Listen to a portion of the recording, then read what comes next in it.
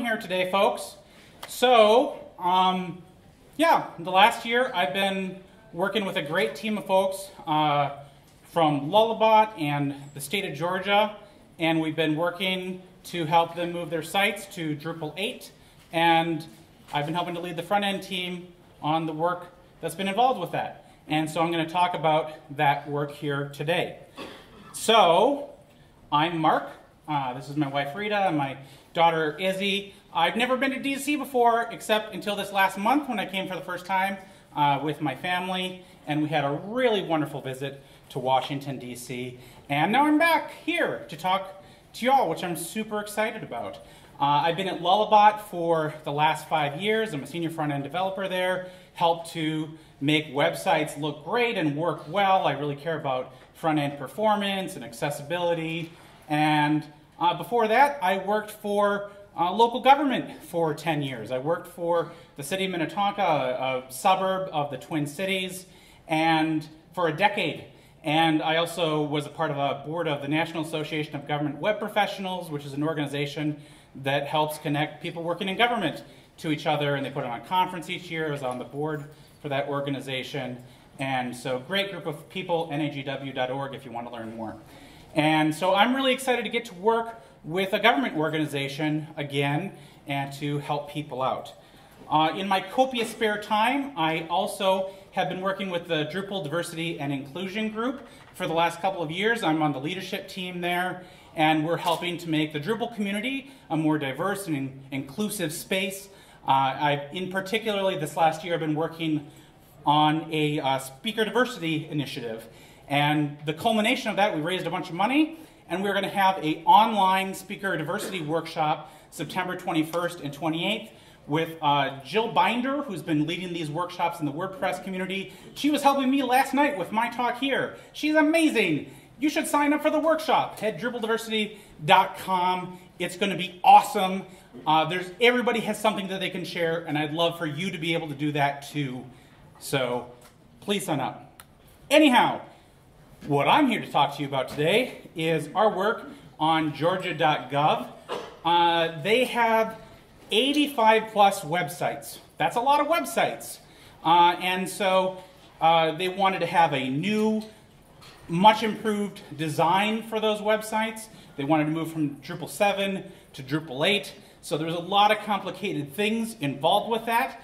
And I'm not going to start out by talking about that. I'm going to talk to you about something else and that is the Residence Inn Marriott in Bethesda, Maryland, which I stayed at.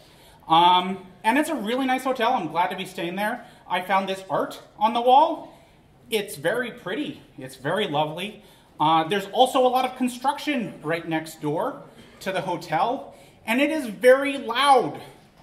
And it woke me up Monday morning, and I couldn't sleep when I was trying to, and so I told the hotel staff, and they they were very kind enough to move me to another room that would be quieter. And so I got to that room and it looked really nice. I mean, I'm really thankful to be in a nice room. There's like a suite, there's like a living room, and there's like a kitchen, and, and it looks wonderful. It is really nice to be in a nice looking room. And it's great to have a kitchen. That's really cool. And so I went to open the fridge, and, and that's, that's a thing you do, right? You go into the kitchen, you open the fridge, and I didn't know that fridges can be backwards, but they can. Like, you probably never thought about this, but you stand in the kitchen and you open the fridge so you can stand in the kitchen and use the fridge. But this fridge didn't work like that. You can't, you have to stand outside the kitchen to use the fridge. You have to stand in the, like, lobby to use the, that's not how fridges usually work. So that was interesting.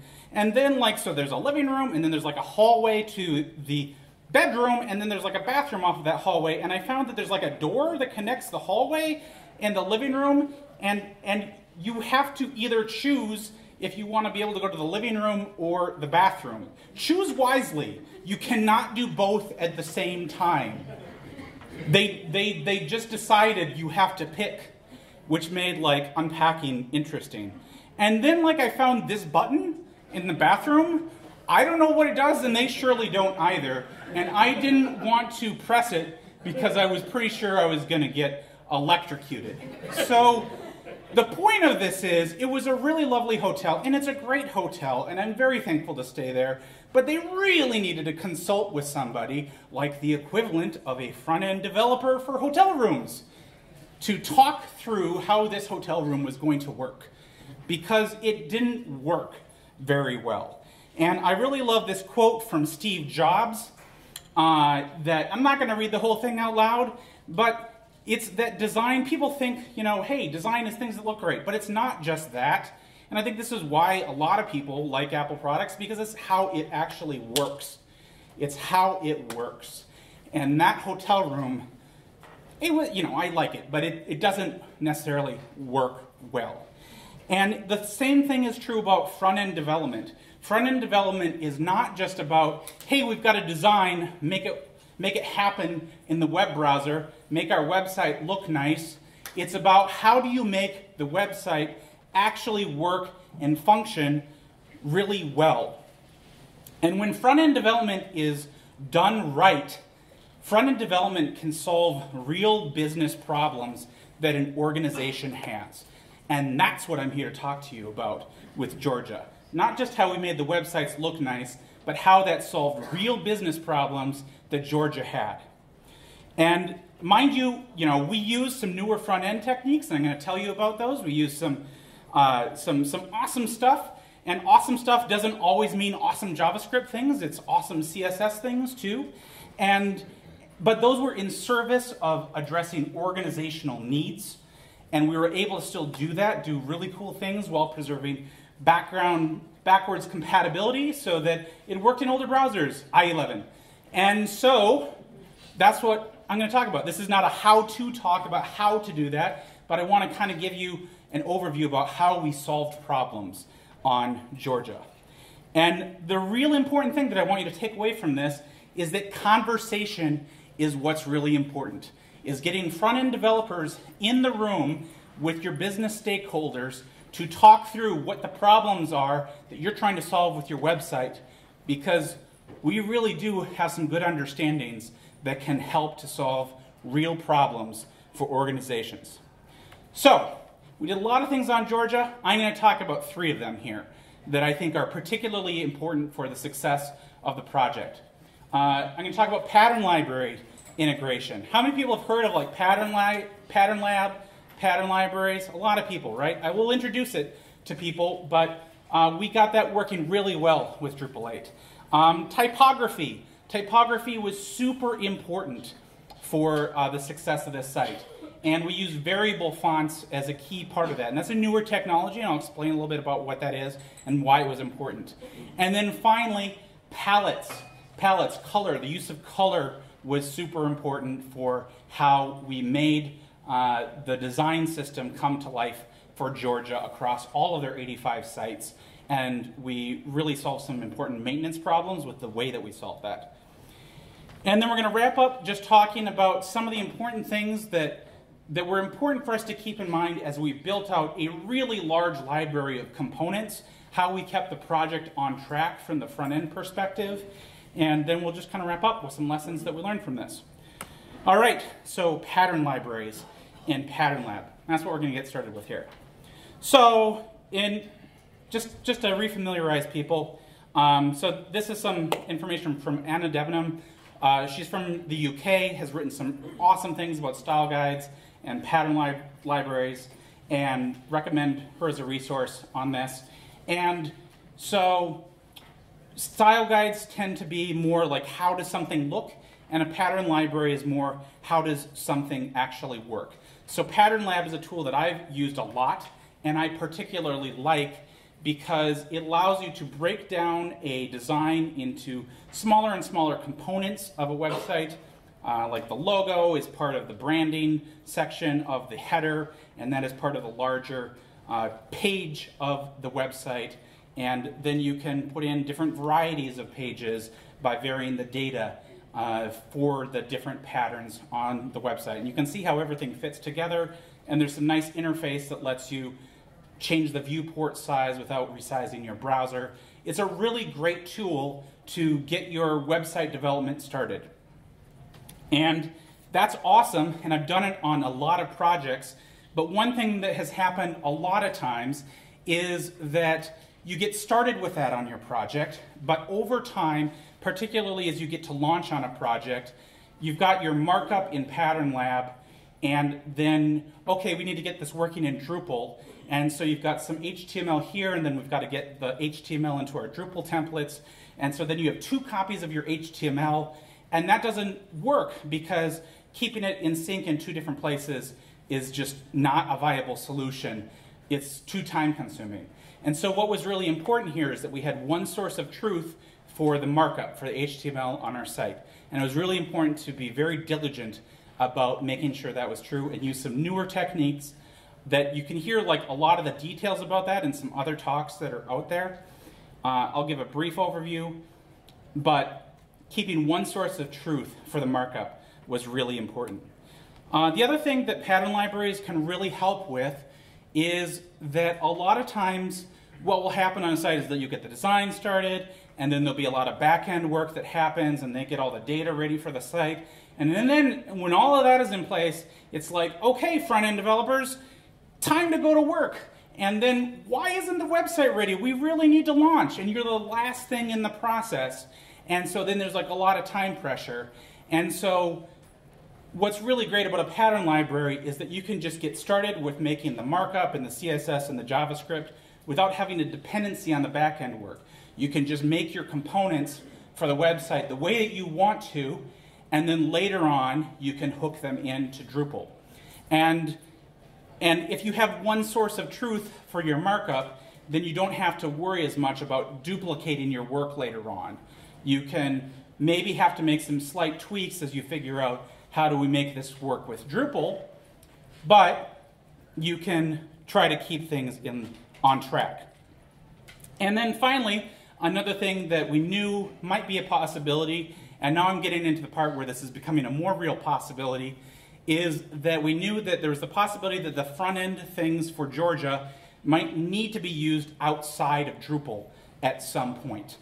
And so I wanted to be very diligent about keeping the component markup as separated from Drupal as possible. Keep Drupal templates having Drupal logic and having the, the pattern library components be as free from that as possible. It's not entirely it's not entirely possible to keep it totally free, but you can do a lot to keep those separate. And so that was like a principle I tried to have in mind as I was like reviewing code and making sure we were staying on track. So when you boil that down to what are the business needs that the organization had, what was really important, and this was, Georgia told us they had this in when they were asking for people to work on their project, they wanted a pattern library that was important to them, and they wanted it to reflect the real world sites that they had out there. That was an important priority for them. And so we knew that from the start, and we had to come up with a solution. And, uh, and the good thing was I got to be on the project early on in the project to talk about this with them and do some research early on as to what were some of the other solutions out there that, that people had, had worked on and, and was able to take that into account. And then um, the other business need was that we had a timeline for this project. And we couldn't wait until all the back end work got done. We had to get started to make sure that we hit our timeline goals. And so getting the pattern library in place uh, early on in the project would let us keep on track. And then I, again, had to keep in mind that down the road, the front end work might be used outside of Drupal. So, Pattern Lab and Drupal 8.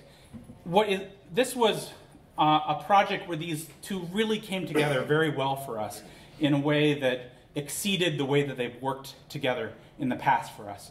So Drupal 8 is great in that the Twig template language in Drupal 8. Uh, it's a great language to, to work with for markup, for one, but it's also, Pattern Lab has a version of Pattern Lab that uses Twig. And so you can have the same template language, and that's really nice. And Twig has some tools in it to basically pull one template into another template. So there's embed, include, and extend, and they all have some slight differences. But the whole point is you can pull the contents of one template into another template, and you can feed data from one place to another place. And so we could use that to have our component templates and then pull those into Drupal. That's the bottom line of what we did. And, and so, and it works. So we have Pattern Lab here. You can kind of see there's the Pattern Lab interface at the top here for a news story. And, and then we have the same thing in Drupal 8.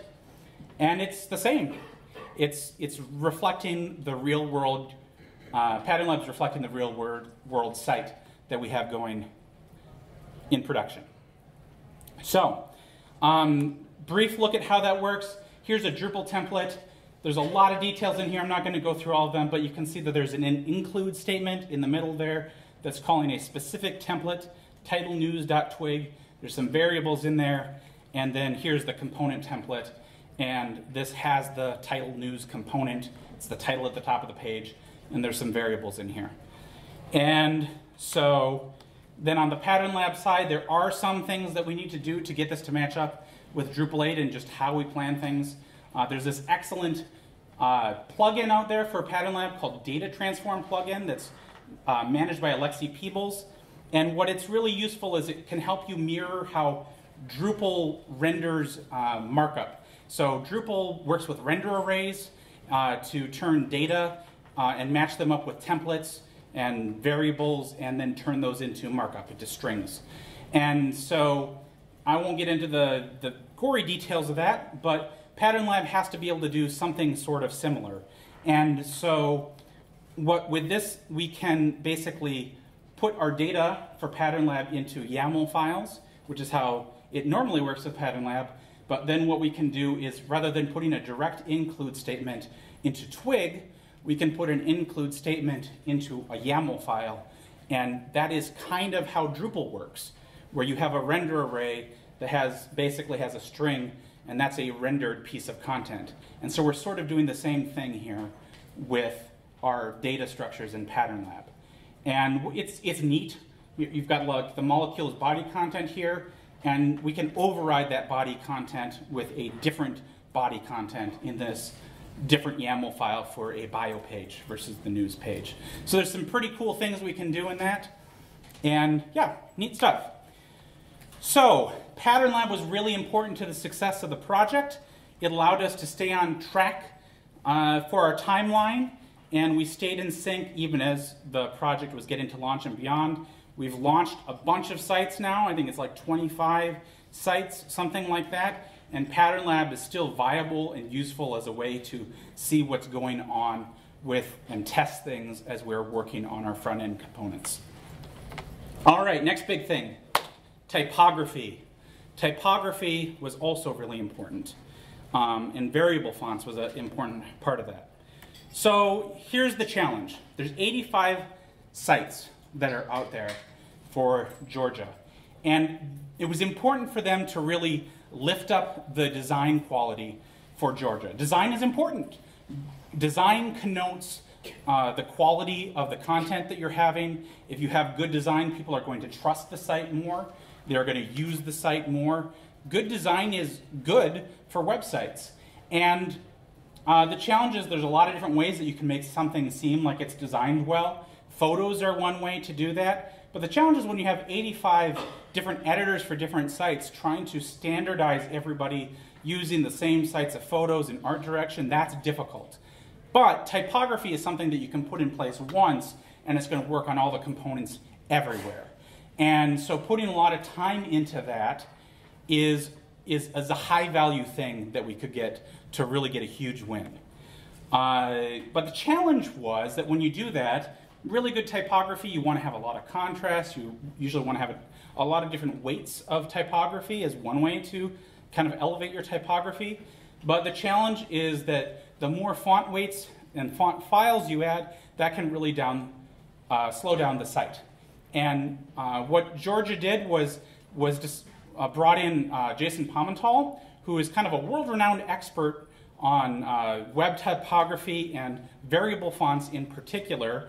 And Jason helped work with Georgia to systematize their design in general and also specifically uh, get, get us working with variable fonts and, and do some ways so that we could make the typography very flexible on the site. And then I kind of helped to work to systematize how we implemented that for the project.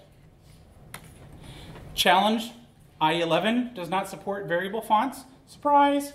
But the thing is, like, you can work around these things. So uh, I've worked with a lot of different projects to have intelligent ways to do font loading so that things load in an efficient way that is fast and takes into account what happens if this font is not available for this browser.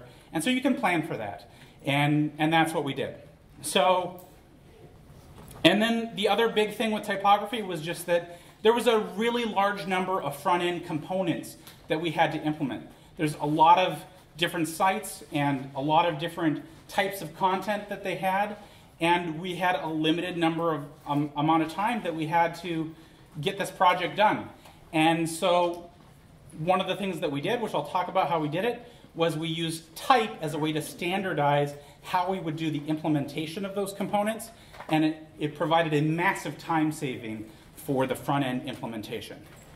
So here's the, the things that we solved for Georgia through our front end work is we helped to really boost up the design uh, in a consistent way and still allowed for a very fast site speed. Like overall, these are fast sites for Georgia. And, and we also kept the project on time.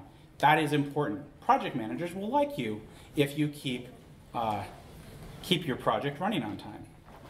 All right, so variable fonts, I talked a little bit about them. What are they? So this is the, the font that we worked with, Source Serif Pro. So there's like 12 different variations of this font, but this is like one, I think, oh, I think there's two, there's two font files here. One uh, for the regular font and one for the italic version of the font.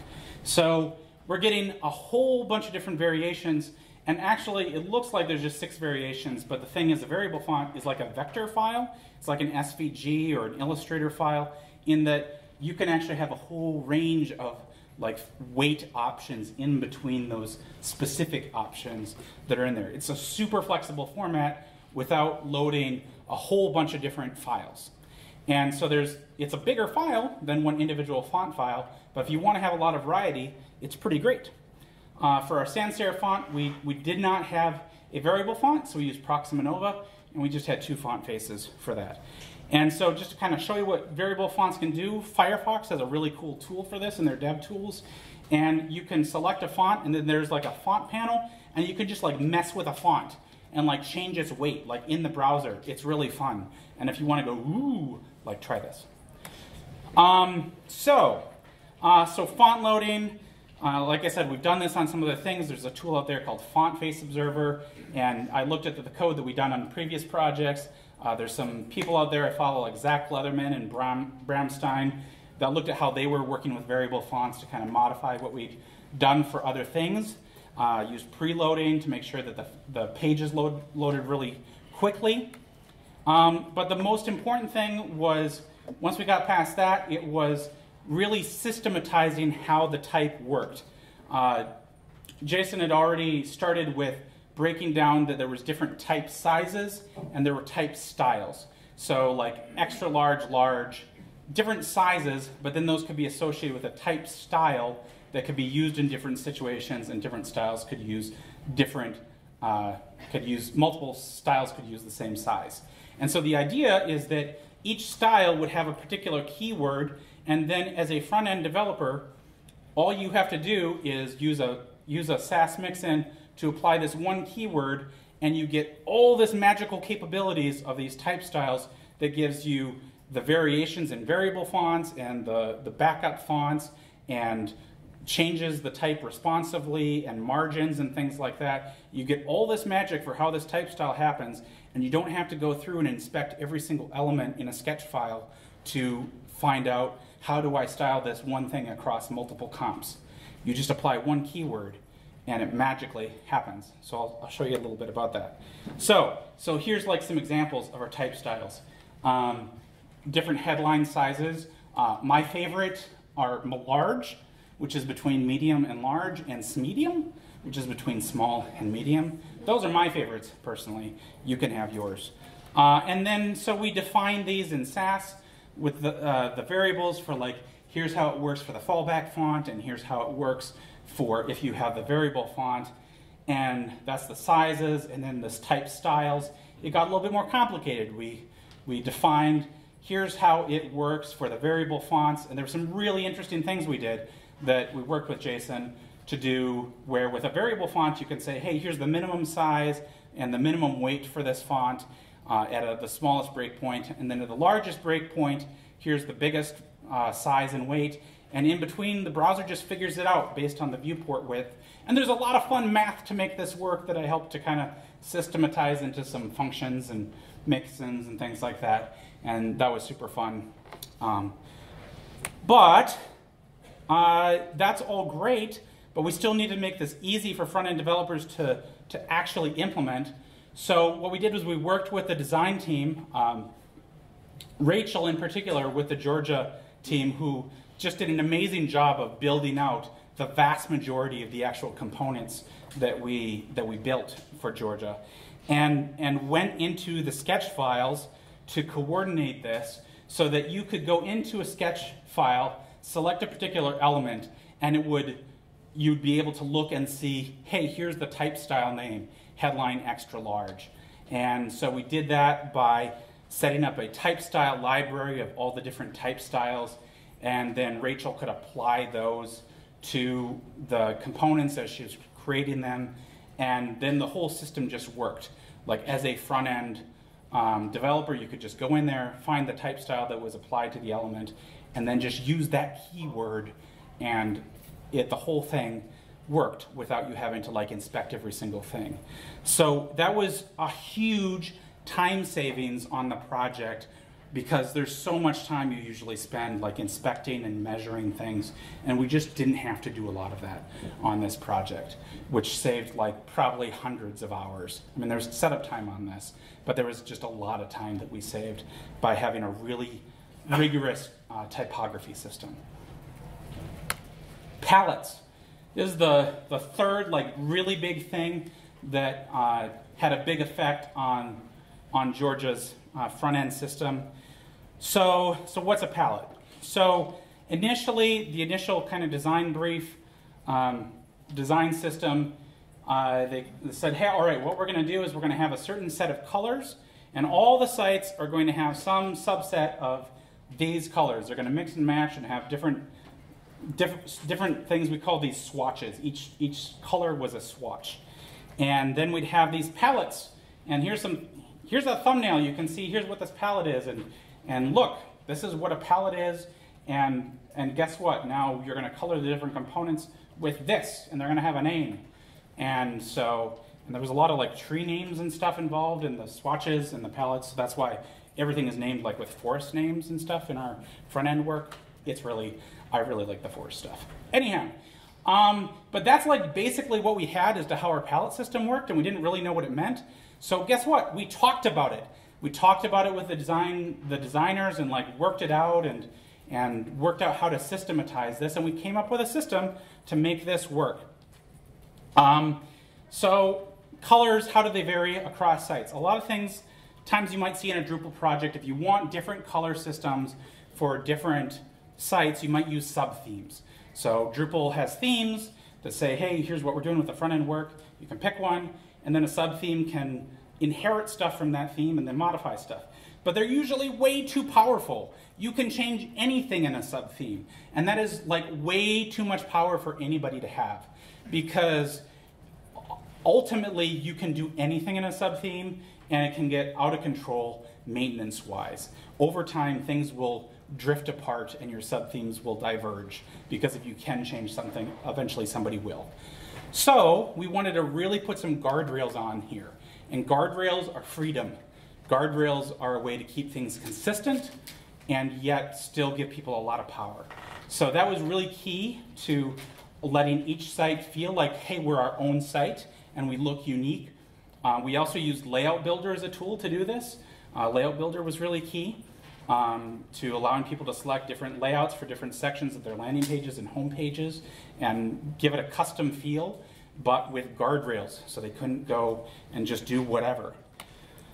But ultimately, um, we had to like solve some problems with that. So if we're not going to do sub themes, like okay, so we want to select, like say put a particular class on the body element for, we're using this palette for this site. Okay, well, when you, when you kind of really think about it, we've got a whole bunch of different components and they use color. And so if we wrote CSS where we varied every usage of color based on a class, and like we wrote, like looped through and changed the color in the actual CSS, you would get huge bloated CSS because there would just be so many rules, or you'd have to try to figure out writing different CSS files for each component. It would be like total overkill. So what we did instead was we used a modern tool, CSS custom properties, which are also known as CSS variables or CSS vars. And they're basically a, a variable, like Sass variables, except they work in the browser. Uh, guess what? They don't work in IE11. Ta-da! but there's a way that you can backfill it. There's a JavaScript tool, um, CSS vars ponyfill. I'm not going to explain that right now. Um, and they have some limitations, but it works. They also came and said, hey, we need icons, and they need to vary based on color palettes. They're like little illustrations, and they're SVGs, and we want them to change color based on illustration icons. And I gave Darren, my project manager, a hard look. I was like, give me two hours. And so I worked on this for two hours, and I got it working using the CSS custom properties, and then I demanded to be paid in brisket. and at my team retreat, he actually bought me ribs. He brought me ribs that he had made himself, and they were amazing. Darren's sitting right there, and he made some really good ribs. So I was, I'm, this is my feature that I love the most because it was tasty. So, uh, so you can see, like, here's an example of how we vary things. There's icons on the left and icons on the right. Same file, but they look differently, and we're just using a CSS variable. I have to massage the markup a little bit when I get the icon and export it from, S, from Sketch, but to put in like a class and some, some CSS at the beginning, but it's this, the same process for every file, and it's very manageable. So we solved some really important things here. We gave a ton of power to these sites to look different from each other, but we did so in a manageable way that over time would not let these sites get totally out of control. And we also did some neat things like illustration icons that would vary based on color. And we were able to find manageable ways to manage the differences between sites. And, and we use some, some normal ways to do things. We use Drupal theme settings, so, which is basically a config set in a theme.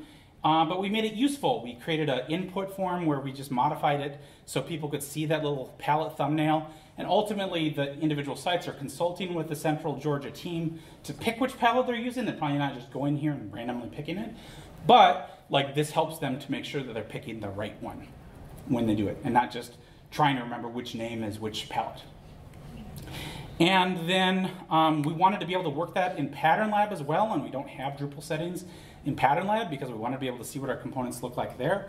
So come, came up with a way to just create a form input and then use some JavaScript to check which input is selected and then set a session variable that could be used on all the Pattern Lab pages and set a class on the HTML based on that session variable. So it was a little work to get that working, but it worked. And that way we can see how the Pattern Lab stuff works, um, how, the, how the palettes work in Pattern Lab as well. So so ultimately, yeah, we're using the CSS custom properties. They're kind of like variables. You can see this is an example of what they look like in DevTools. They look like a variable. It's just they have a dash dash instead of a dollar sign, but they're, they're very similar. They have a few quirks, but anyhow. Uh, and there's some things that we had to take into consideration with IE11.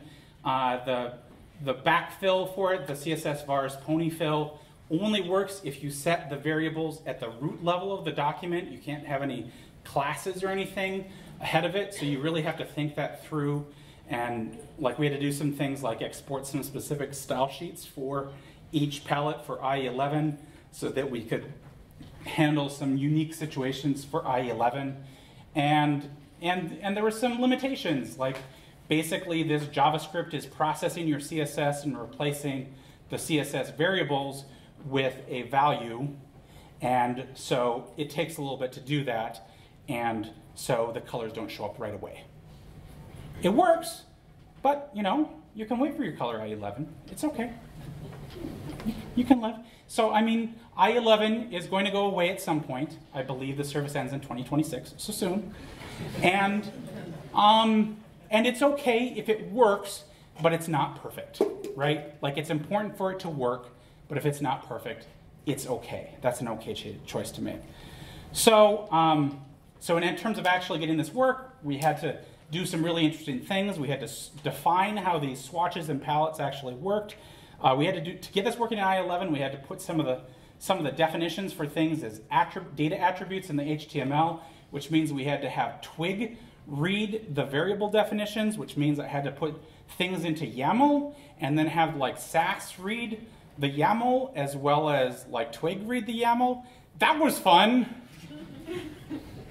so, anyways, those are like Sass maps in YAML. Anyhow. Uh, so yeah, so there's a whole bunch of swatches, and we found it, we needed to make like tints and shades of those swatches so there'd be enough contrast. And so we have like pages where you can go and you can view all the different swatches and how they vary. And then like here's the key thing. This is the key thing for how this whole system works is that those swatches then get associated in those with those palettes through roles. And that's like just this like made up word that came up with with the process of getting this to work. So like the idea is that each palette has a thing like a dark background and a darker background and a light background and a lighter background. And for each palette, they all have the same roles, but you, ass- you assign a swatch, a different swatch, to each of those roles in different palettes.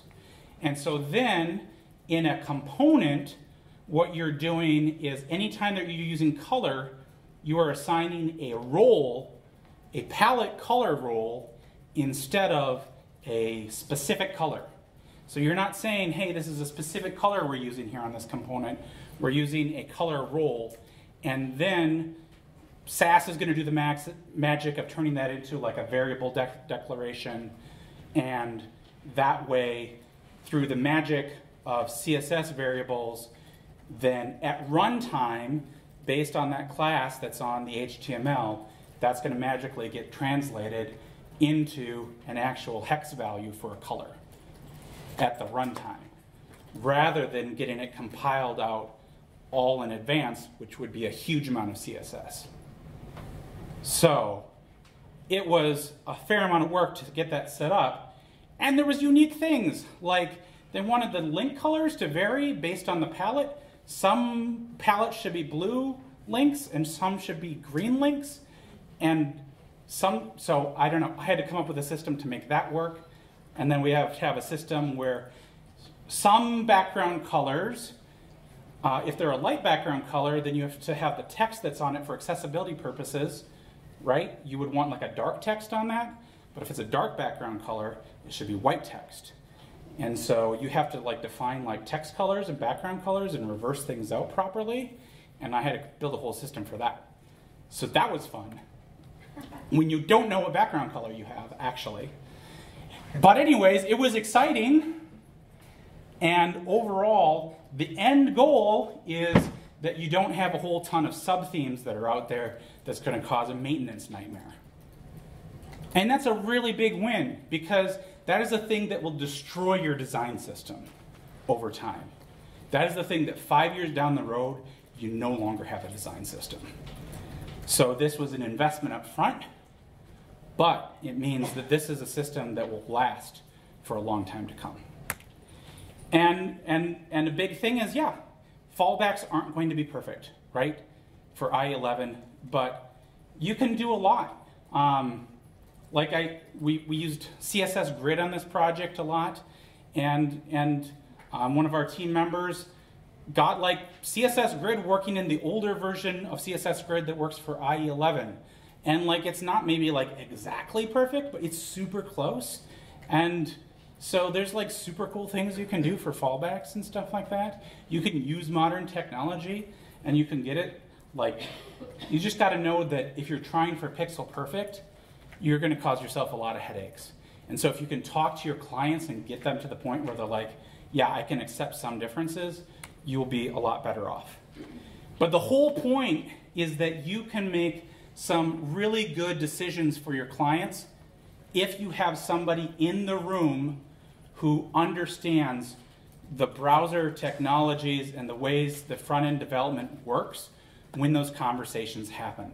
And you don't always know when that conversation is going to happen, like which specific thing is going to be the thing where having some of that knowledge in place is going to help. So it's helpful to have people there because it might have you might have a solution that you don't know.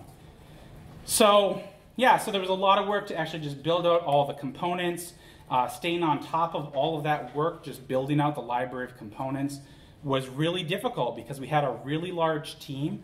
And so like all the things that I just talked to you about, like I had to basically give the talk as we brought on new front end developers and like explain, hey, here's how our system's working and things. And we had a really large team of folks that I want to like thank and credit for all the work because like I helped I, I thought of myself as like the plumber on this project that was like building like the plumbing for like like how things worked, but like the actual building of the site was a huge team of people that made the work happen. And they all did amazing work and solved problems and figured things out. Our front end team, not everybody was on the project at exactly the same time. Our front end team was awesome. Our back end team, like, I, I mean, there was a huge team, but but Hawkeye and Marcos in particular like pitched in a lot on like helping us solve front end problems.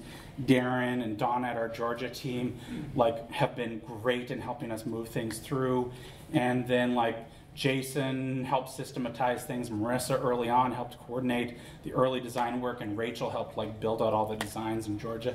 And I'm really afraid that I forgot somebody, but like if I did, and this is recorded, I'm sorry, but like that they everybody did great work.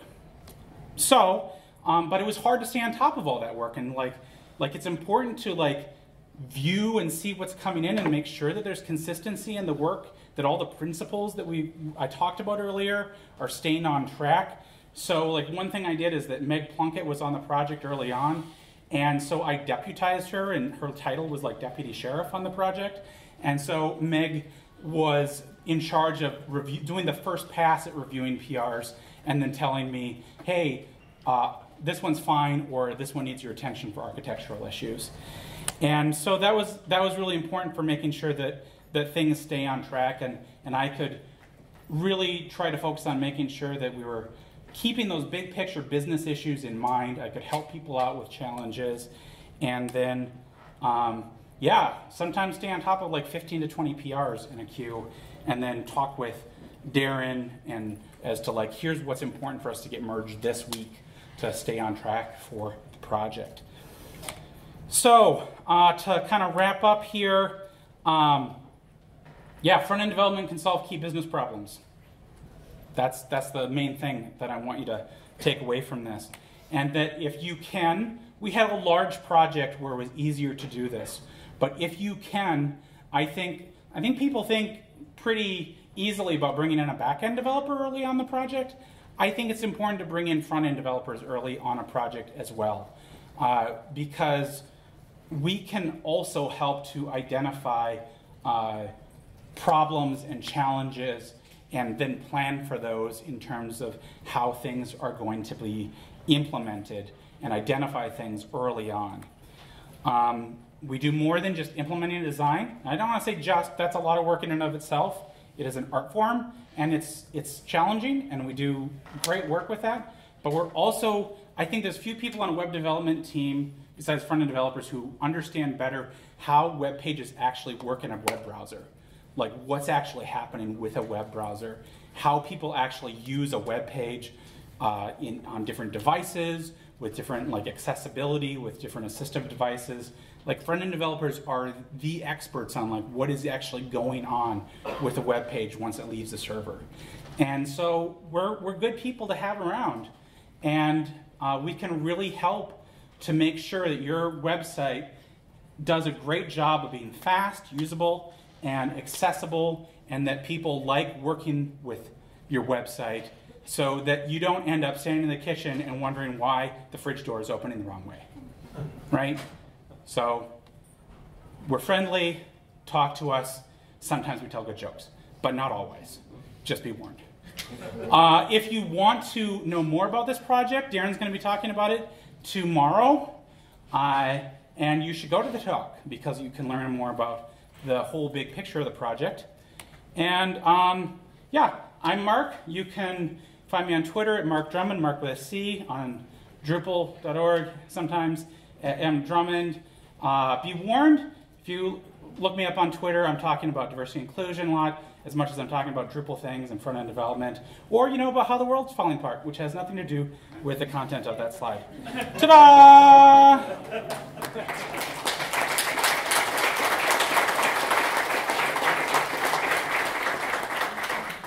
Any questions everybody has in the last negative one minutes? So it looks like you use a lot of uh, CSS variables probably most of your code, uh, the CSS code. Have you noticed any performance issues, especially on slow computers? Or, uh, I have not. I mean, we don't use it for everything. We use a lot of Sass variables too. We use CSS variables only where it's important to use CSS variables. They are not a replacement for Sass variables. You should use Sass variables where you need them. Only use CSS variables if it's important to have runtime information from the browser. So, but yeah, I mean, like if you have like a thousand of them, that's to probably be a problem. So, yeah, it's, it's important to keep in mind.